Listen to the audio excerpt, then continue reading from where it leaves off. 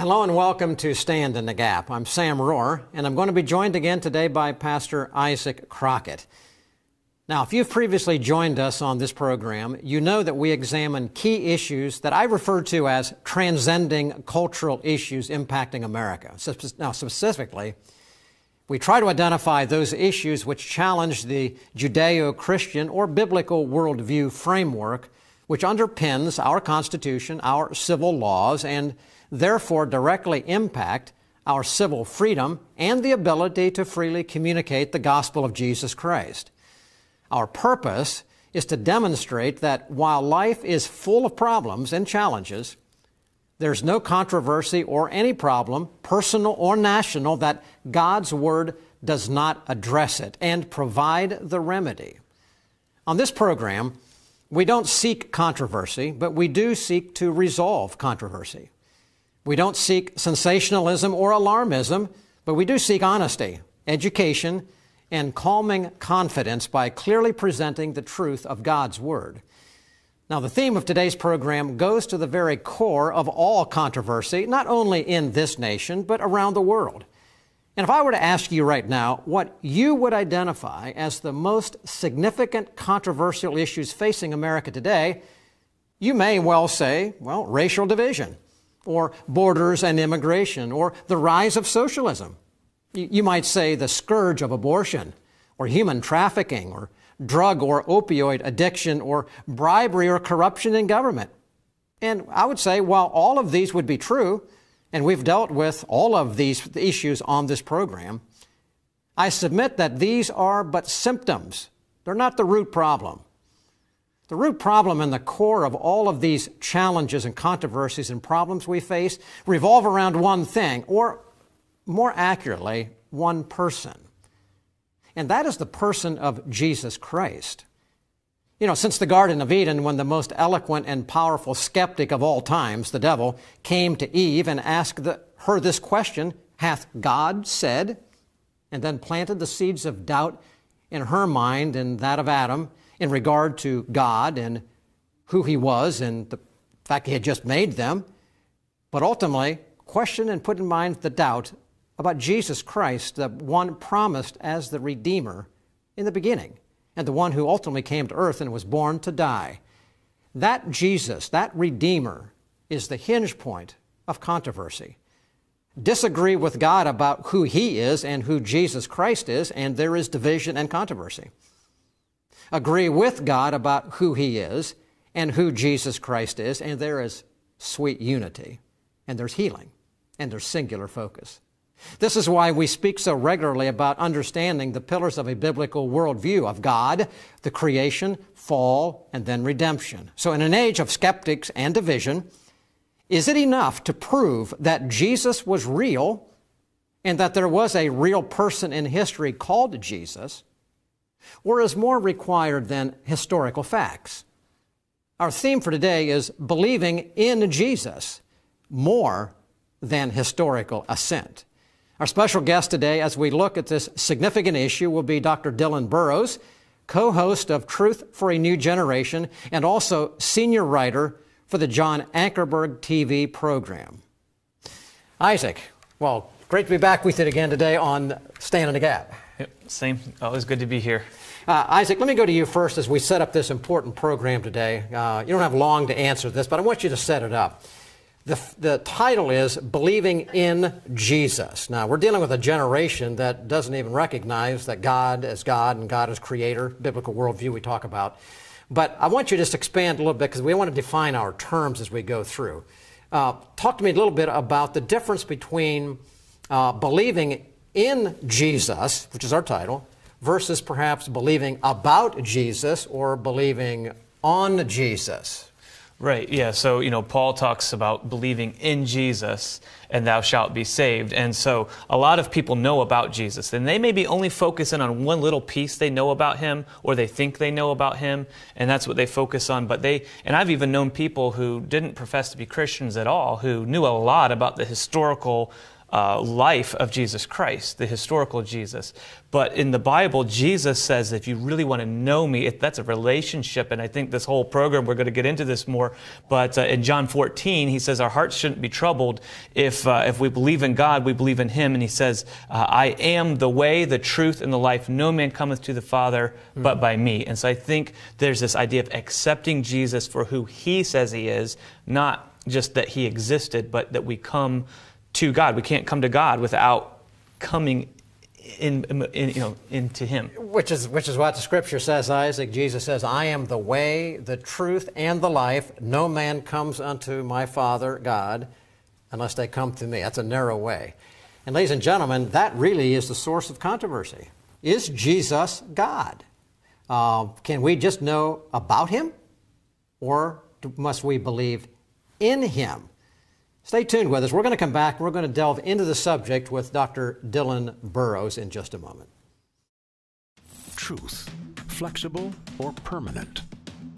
The Bible, ancient history, or powerfully relevant? Culture, a reflection of enlightenment or warning signs? The pastor, commentator, or frontline combatant? Every day, American Pastors Network speaks to these questions where and when they matter. With hundreds of affiliate radio stations nationwide, a website and mobile app screening today's headlines through the twin lenses of the Bible and the Constitution, educating, informing, equipping. This is the American Pastors Network. The time is now to stand in the gap for truth.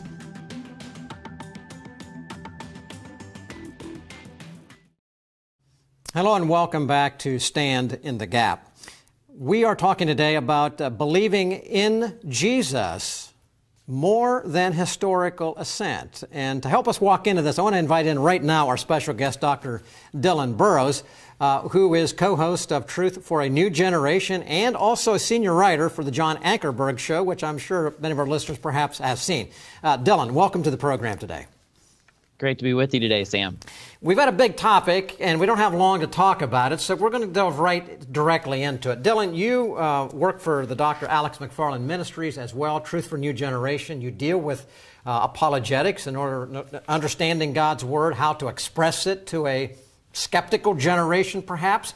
Let me dive right into the heart of this matter here right now and ask you this question Can a skeptic, a person who does not yet believe in Jesus, um, can that person, can that skeptic, does he have to start with understanding perhaps who God is, the, old, the God of the Old Testament?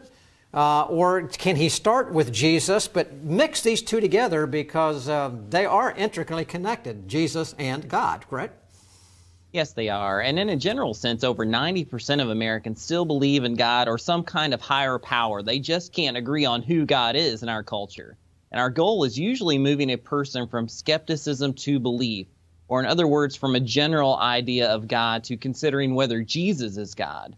For example, Muslims believe Allah is God, but they define him much differently. In Islam, he is a prophet, but nothing more. He's certainly not God's son. But the early disciples used two key pieces of evidence that we still use today. And first is our personal testimony. They were eyewitnesses and shared what they had seen and heard, just like we do today. But second, they used scripture. The Old Testament prophecies regarding the Messiah stood as their evidence for Jesus.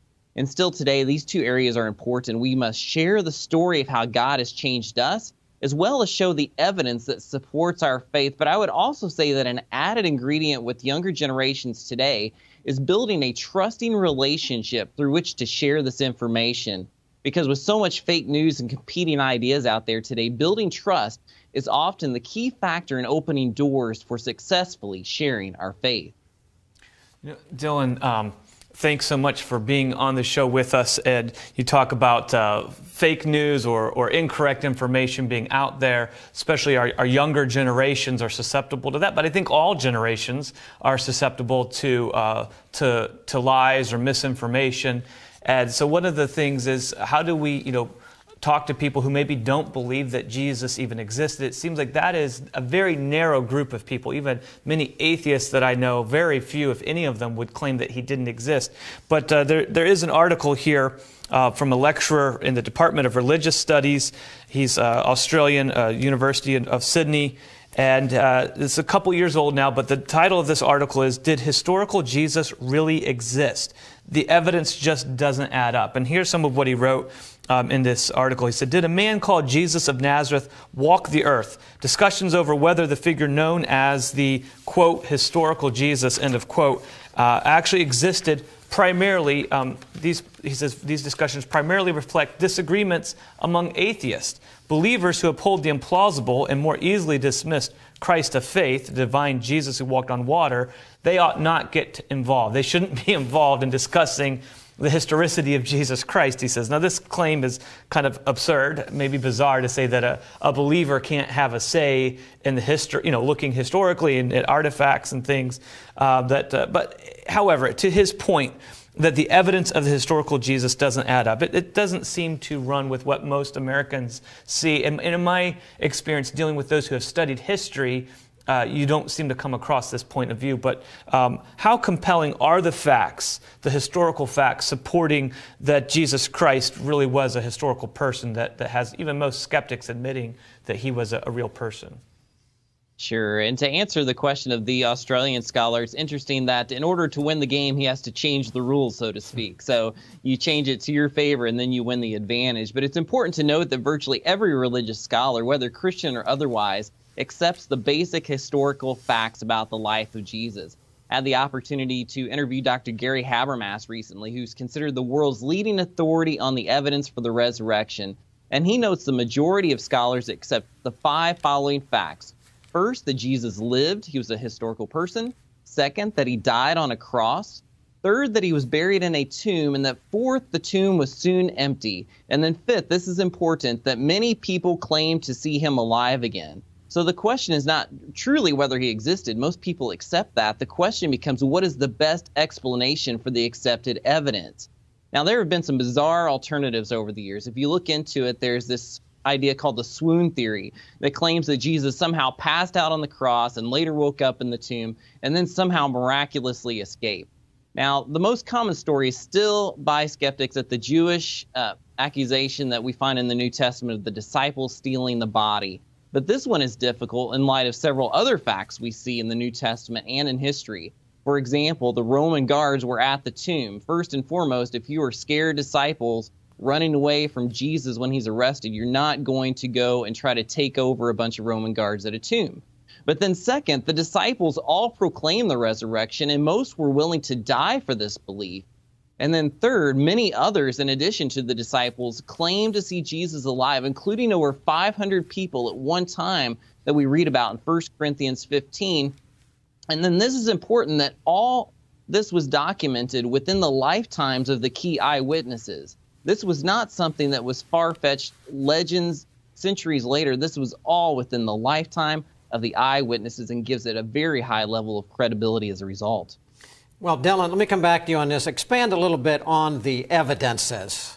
Uh, you've named some right now. Expand on where you want to go. If I were to ask you, uh, Dillon, as someone who speaks often with young people who don't really have a biblical worldview, many of them, or skeptics, as we're talking about, who don't believe that God is or Jesus was, what, you, what have you found to be the most compelling proofs of the veracity and the historicity of Jesus. What I've enjoyed in my interviews with Dr. Gary Habermas is that he shows in modern New Testament studies that skeptics have been largely challenged by what is known as pre Pauline events. In other words, Paul became a Christian about three years after the resurrection and claimed to teach the same gospel as the other apostles. And then he met some of these pos- apostles within about five or six years after the resurrection, according to Galatians, a book that even skeptics accept as authentic. And again, this is far too short of a time to fabricate legends. These were eyewitness accounts.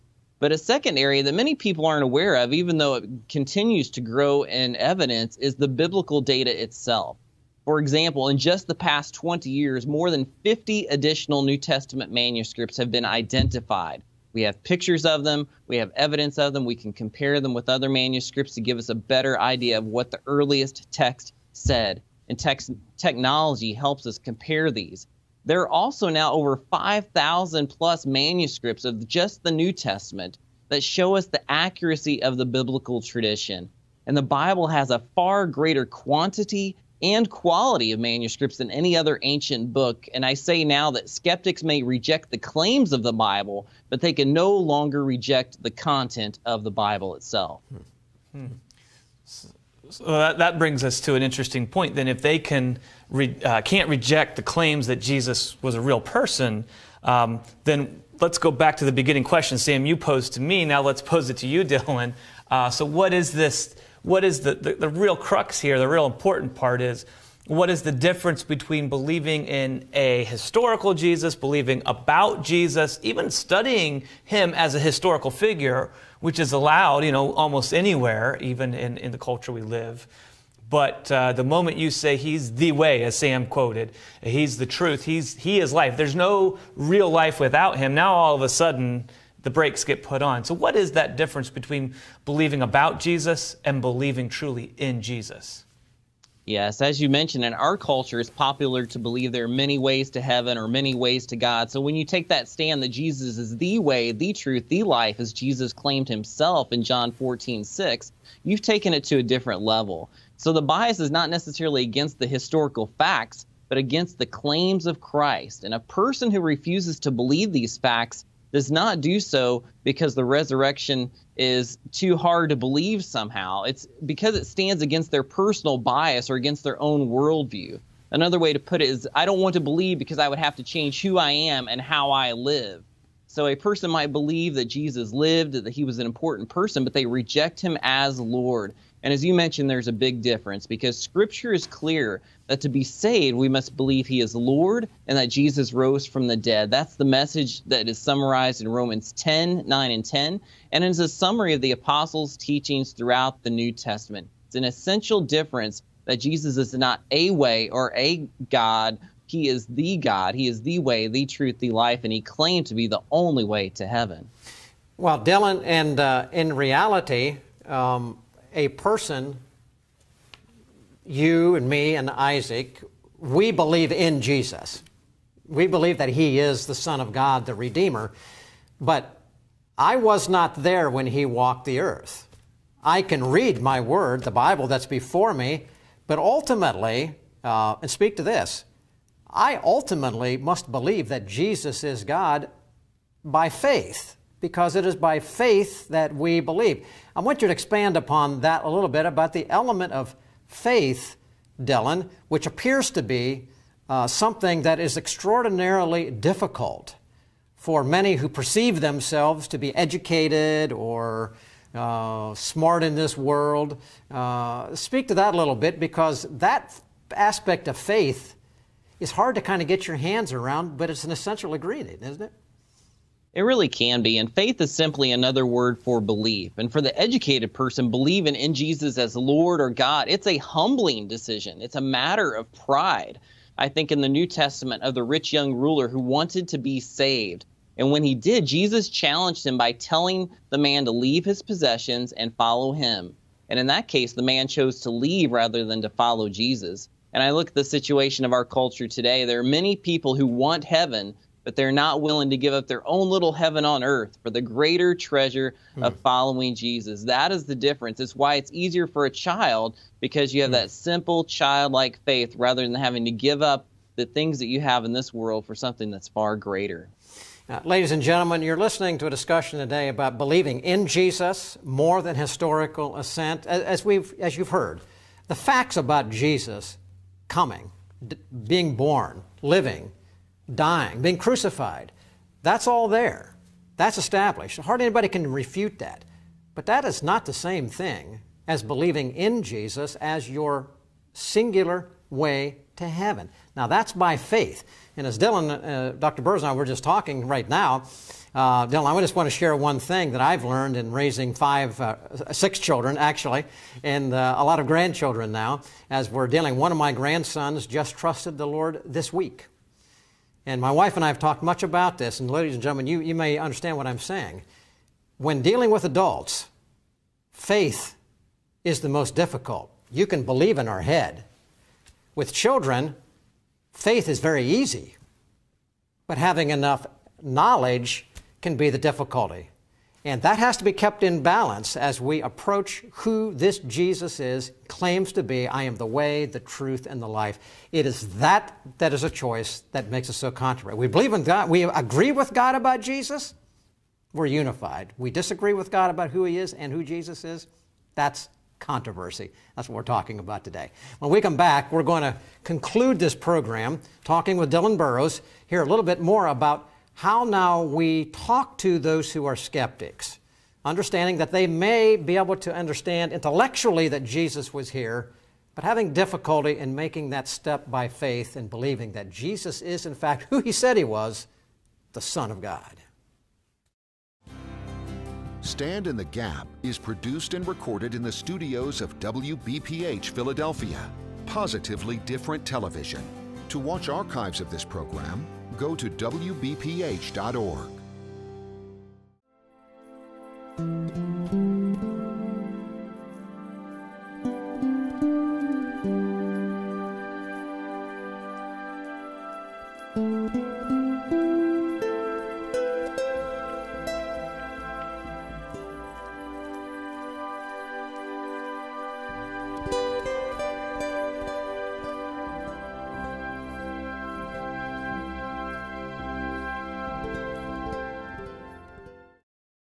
Welcome back to Stand in the Gap. As we now enter into our last segment, we're going to try and make this a, as we do often, a practical application.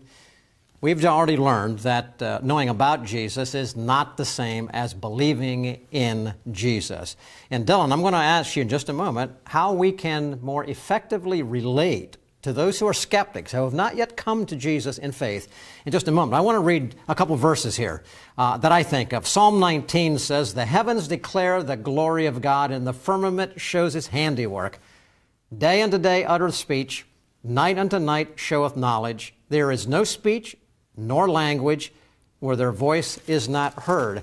And then I think, Dillon's, of Romans chapter 1 that ties in very similar to that. It says in Romans 1.20, for the invisible things of him from the creation of the world, referring to the verse I just read from Psalms, are clearly seen, being understood by the things that are made, even his eternal power and Godhead, so that they, people, are without excuse.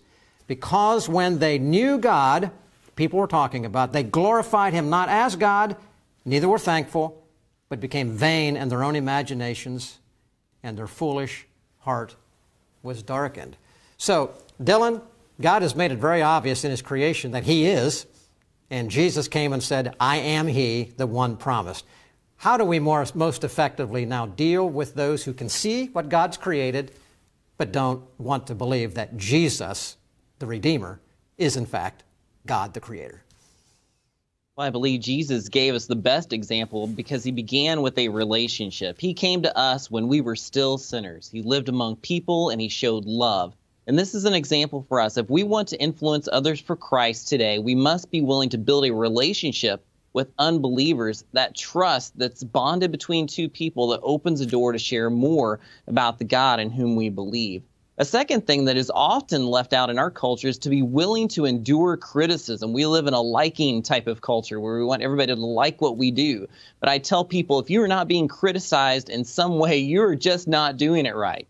2 Timothy 3:12 says everyone who wants to live a godly life in Christ Jesus will be persecuted. So we should expect it. But then third, we share Christ in God's power. The same Jesus who said apart from me you can do nothing also said all things are possible with God. We are simply not smart enough or persuasive enough, but God's spirit can change the hardest hearts. And to close with one example, I once had the opportunity to speak by phone with a Sudanese man from a Muslim background about Jesus.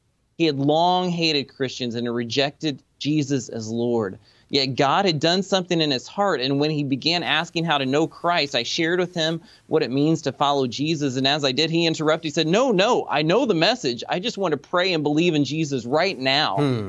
He knew all the information, but it took God's power to open his eyes and create a moment where he was ready to pray and to believe. And we prayed together, and he continues to follow Jesus despite much persecution from his family. So, Dillon, if you're in the situation Dillon, we're going to have to go. Someone, please start there. We're going to have to go, Dillon. Thank you so much. Ladies and gentlemen, you've been watching Stand in the Gap today.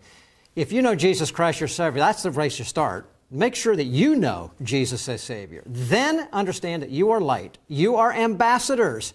Open your mouth and let the Holy Spirit speak through you.